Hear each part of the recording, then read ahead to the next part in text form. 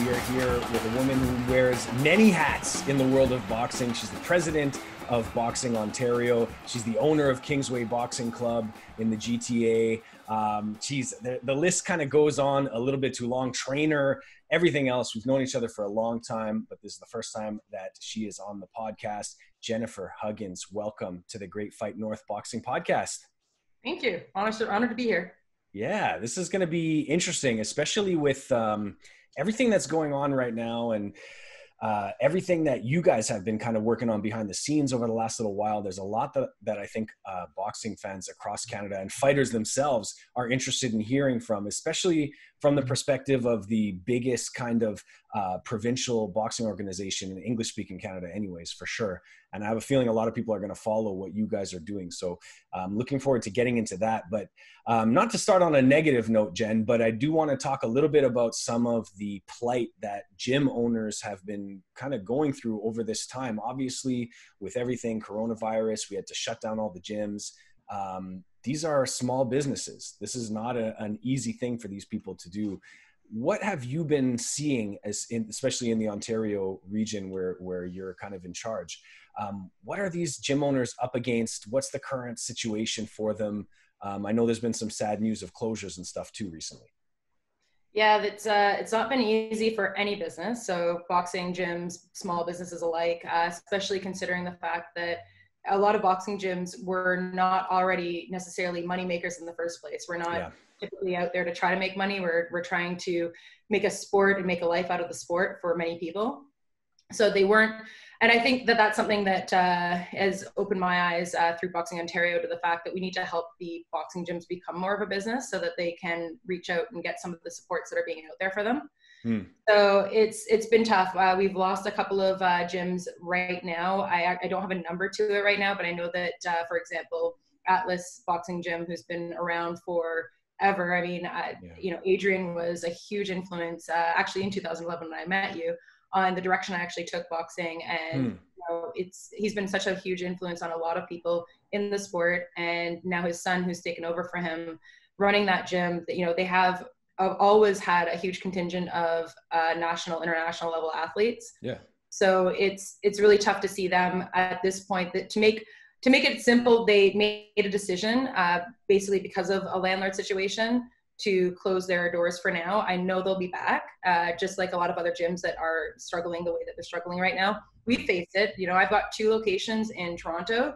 It's not cheap to be here. Uh, it never has been. It's way more expensive because all of a sudden, before this you know big close down for everything for, before the pandemic i think toronto was going you know really hard and really strong with business. Ontario in general was doing you know really big things. Canada overall was doing big things economically. Yeah. So the rent amounts was really reflecting that and it sucked to begin with. And now the hard thing is that the gyms and small businesses are facing paying the same amount of rent with reduced abilities to make. So the, the real estate isn't worth what it was worth like two months, three months ago.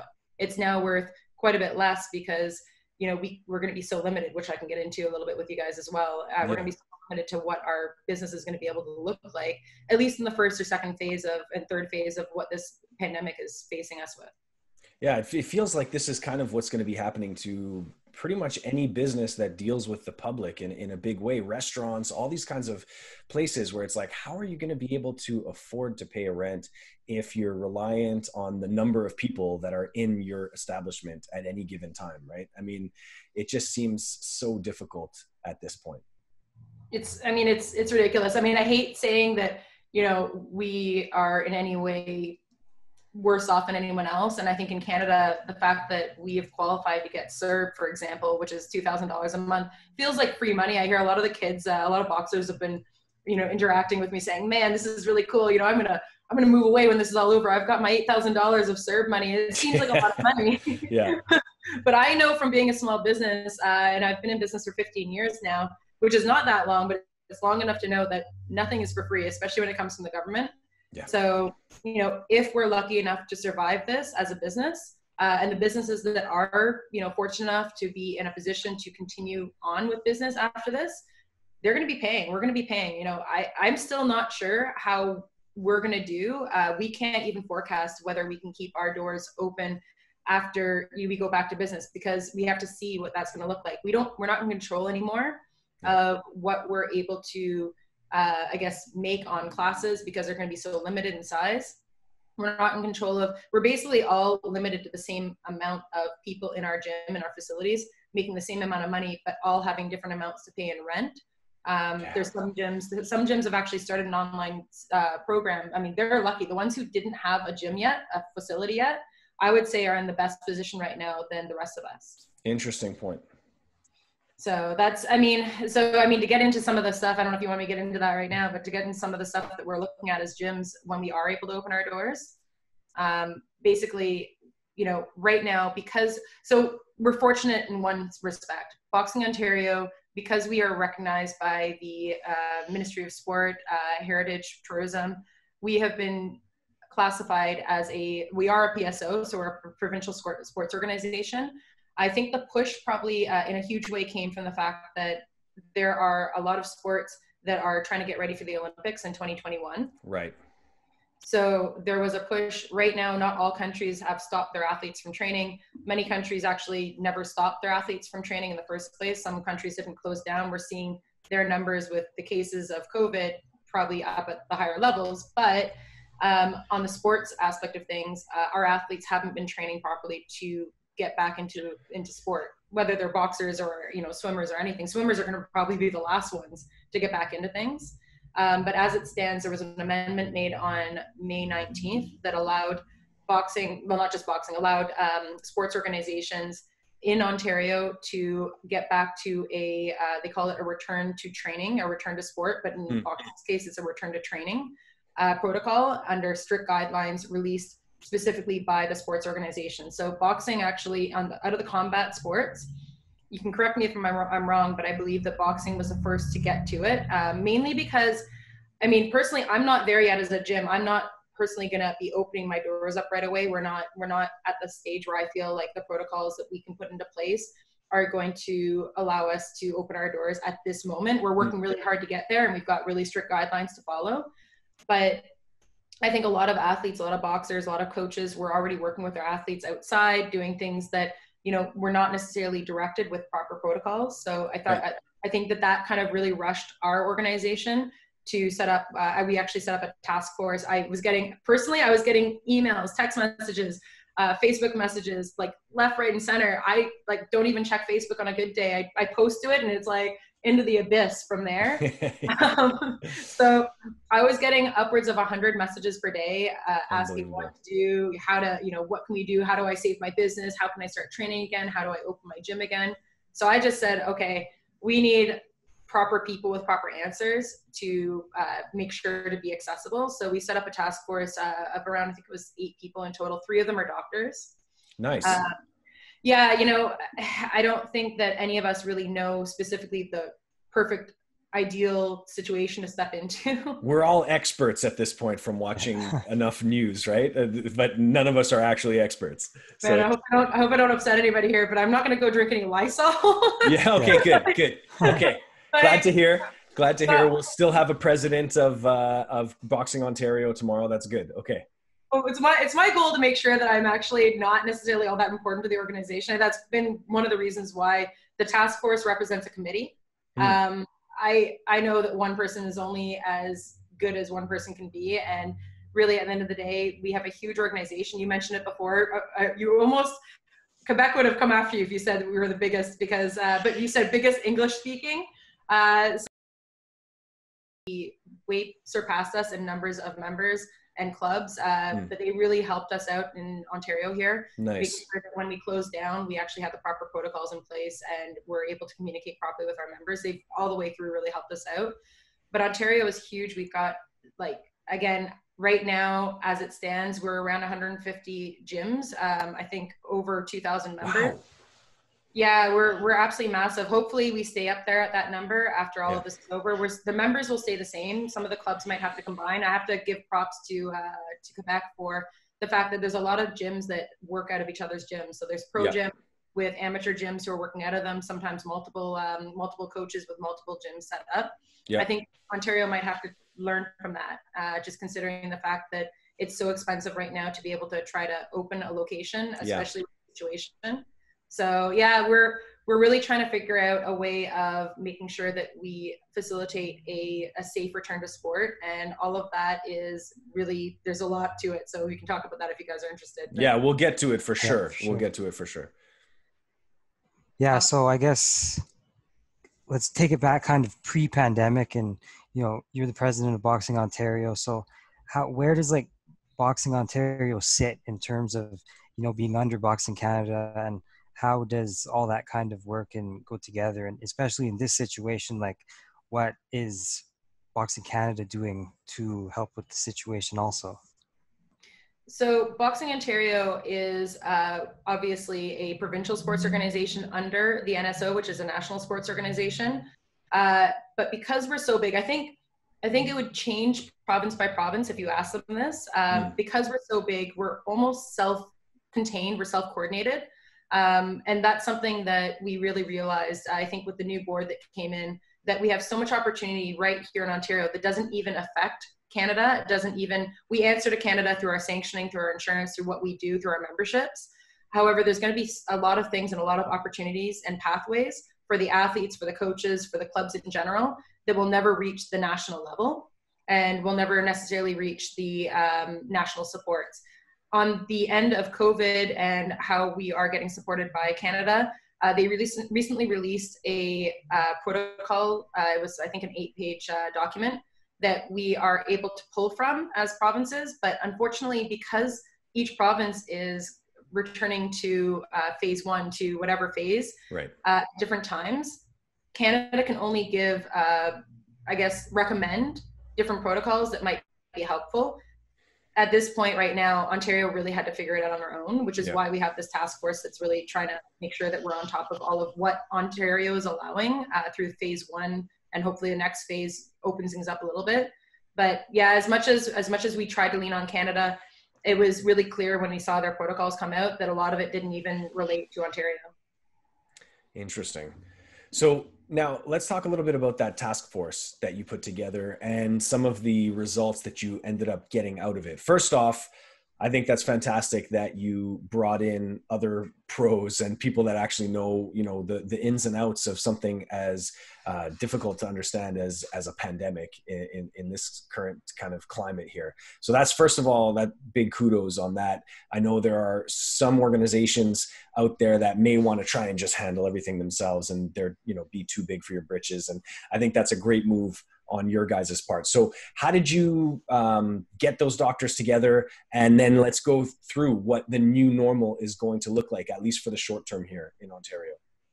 Cool. So again, the long and short of it was I, you know, I recognized immediately when the first day of the pandemic or first day of the shutdown, the emergency order where everybody shut down, I recognized that the number of questions I was getting, I was way out of my depths in being able to answer those. I mean, I don't have the answers to everything. I'm not scared to tell people I don't know. Um, and I would like to, I know, I do know that there's people out there that have better answers than I do and clear, right. obviously clear responses. So um, the COVID task force only got uh, kind of prepared about probably a month, month and a half into things. It's not just doctors. We've got three ringside doctors who've always been involved with uh, not just boxing, but also uh, Faisal. I mean, he's probably gonna kill me for pronouncing his name wrong.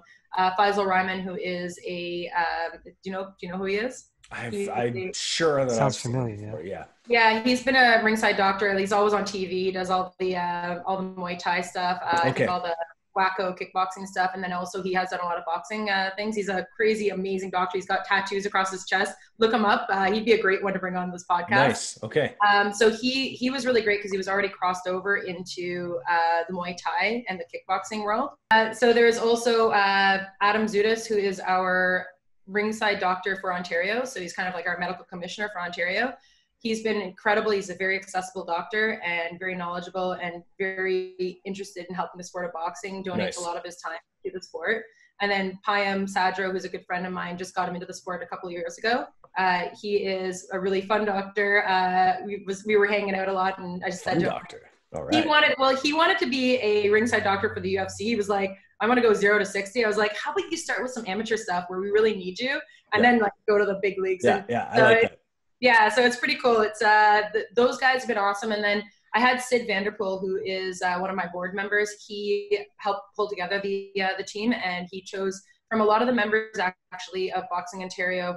Um, we want to empower them. I think that that's kind of the next step with Boxing Ontario is kind of empowering the membership to mm. get things done, uh, not just you know leaning on the organization to get it done, but actually yeah. pulling the organization together as a membership. Yep. You know, it sounds it sounds really great. It's still a lot of work. Um, it's still really interesting to try to get these guys together on the same page. But the great thing is with the COVID task force, the members who are on that team are all interested in the same thing. We all want to get back to boxing for yeah. you know one reason or another, whether it's for business activity, mental uh, sanity. For sure. So, yeah, so it's a really great team of members, doctors, and just experts who can help us move in the right direction and move together into that direction.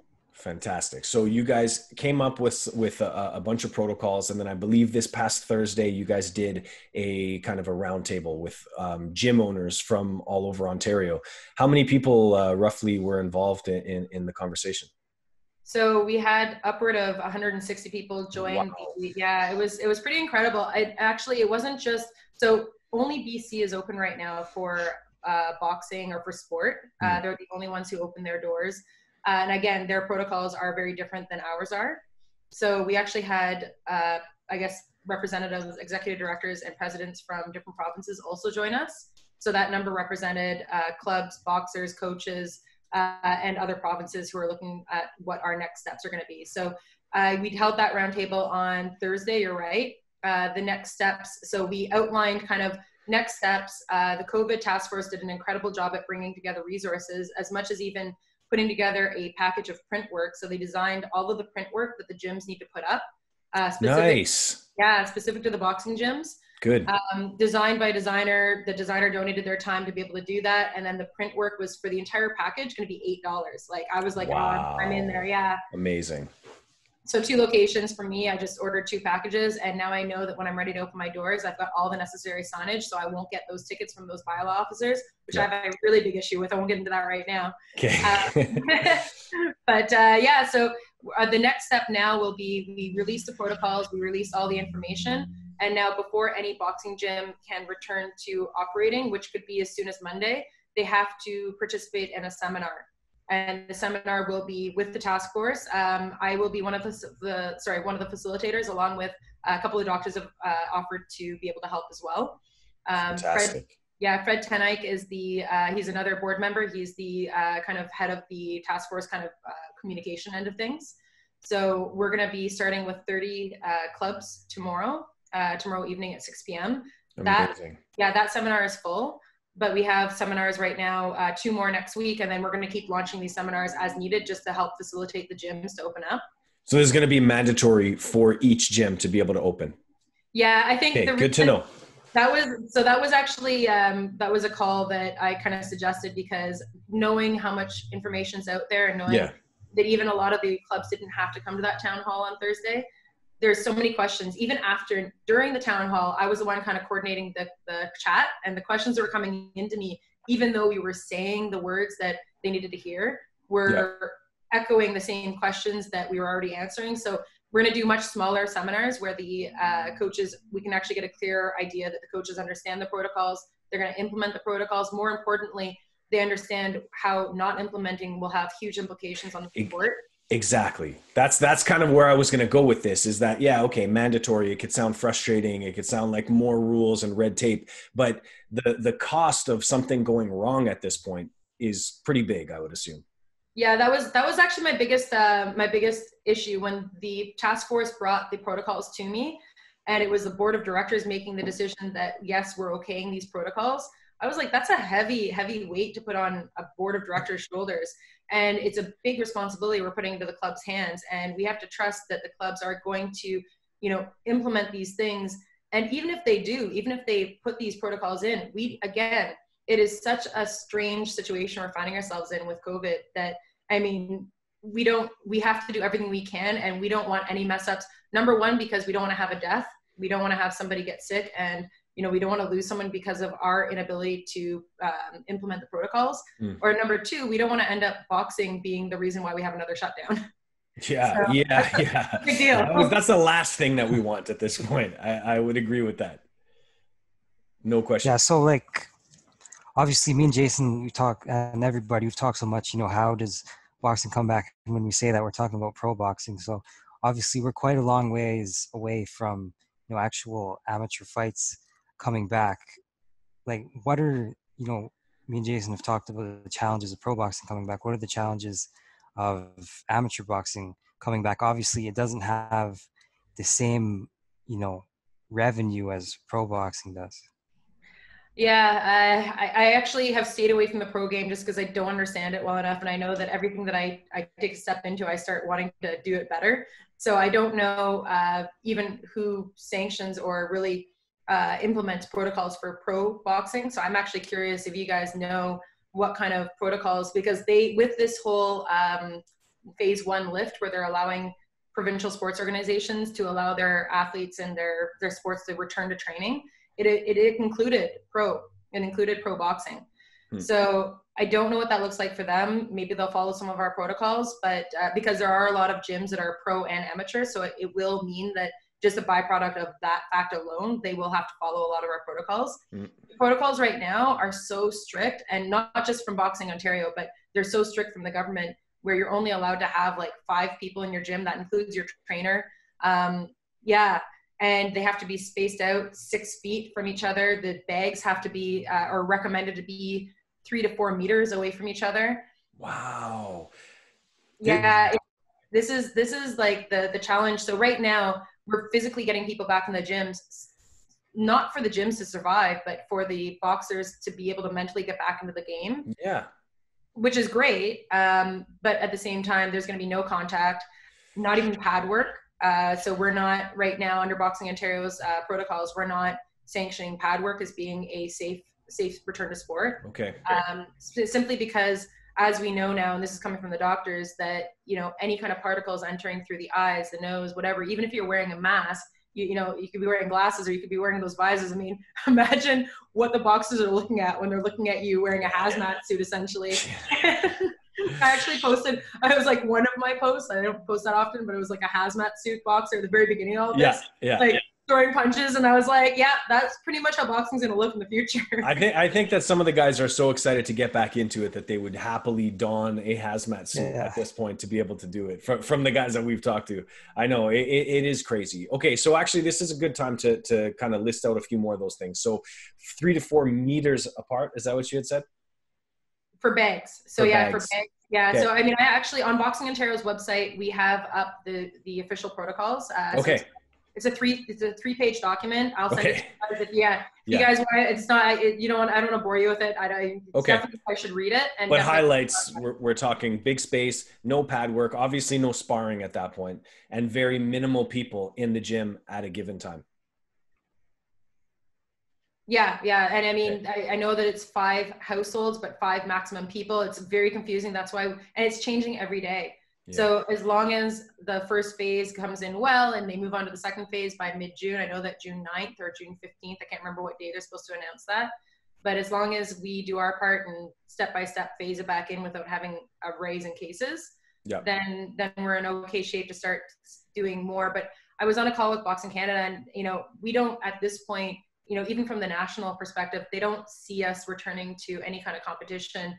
It's going to be tough to even think that it's going to happen this year. Like it, we ha- we have to. I, I, we hope. Like we're we're keeping our fingers crossed. We've got athletes in Ontario. We have four athletes who are waiting to get back into training and waiting to get back into comp- and competition is a big part of training for for boxing. It's like it's like trying to get a, a swimmer, Olympic level swimmer, to swim without water. Like, how do you know yeah. if this is working? Yeah. That you know swimmer into water it's the same thing for boxing you can look really great you've got all these incredible challenges out there like shadow boxing challenges and it's keeping people engaged it's keeping people excited. But boxers who need to compete pro boxers even worse who need to you know see if their work is actually translating into effective techniques yep. need to spar need to compete to be able to see what that looks like.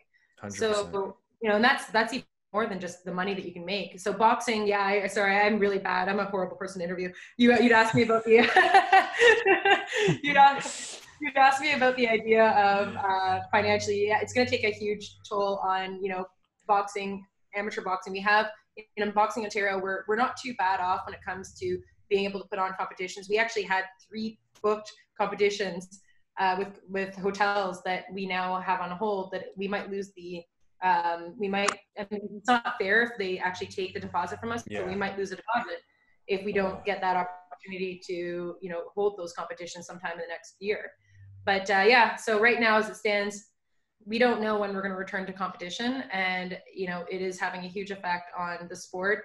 Um, business wise it'll have a huge effect just the same as the pros it'll have a huge effect on the businesses uh, not being able to offer certain programs but yeah, yeah that's that's the reality we're facing right now so at this point now the good news at the very least is that gyms in a very limited capacity but open nonetheless as soon as this coming week right up here with the protocols that are listed on the Boxing Ontario website. Uh, but competition, that's a whole other conversation for for a later date once we have a better idea of what's going on and travel and all that kind of stuff, right? Yeah, I mean we're yeah. we're open to doing local competitions within Ontario, but again. Nothing's nothing with the protocols we have in place with this phase, and we don't know even the next phase. We're lucky because we're not considered just a fitness gym.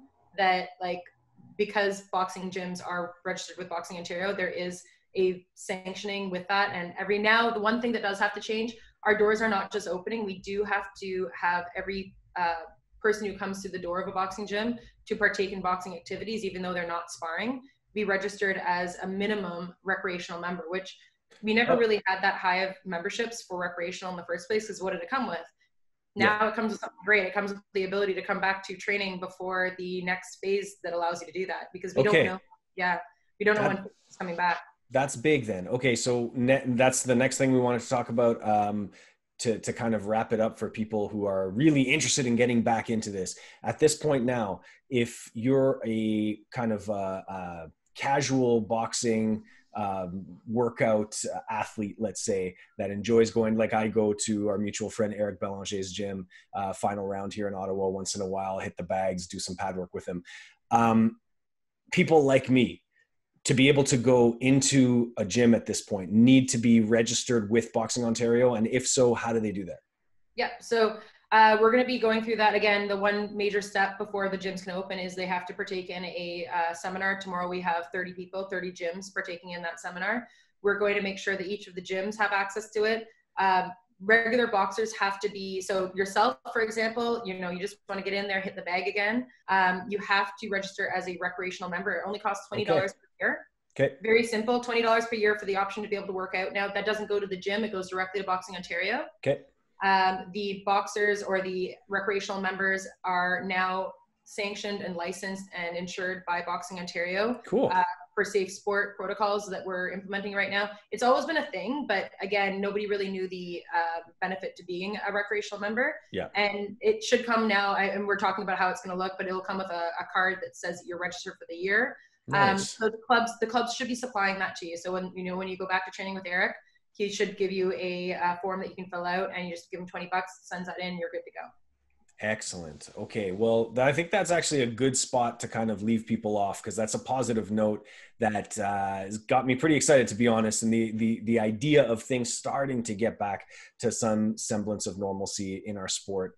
And, uh, you know, really, it all begins at the grassroots level um, and on the amateur level where you're you're in charge. So it's a lot of pressure on you, Ms. Huggins. Uh, I appreciate um, all the work that you guys have put in in order to get the sport back in business here. And uh, I hope that we can do a recap coming up soon to figure out how the first implementation has gone and talk a little bit about when competition can start again and, and some of those kinds of things. And we've had, we have tons of questions about boxing Ontario versus boxing Ontario and all uh, boxing Canada rather.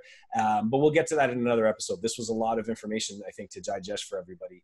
Uh, but thank you again for all your hard work. And thanks for coming on to the Great Fight North Boxing Podcast, Jen. Thanks for having me, guys. Can't wait to see you guys again soon, hopefully in the gym.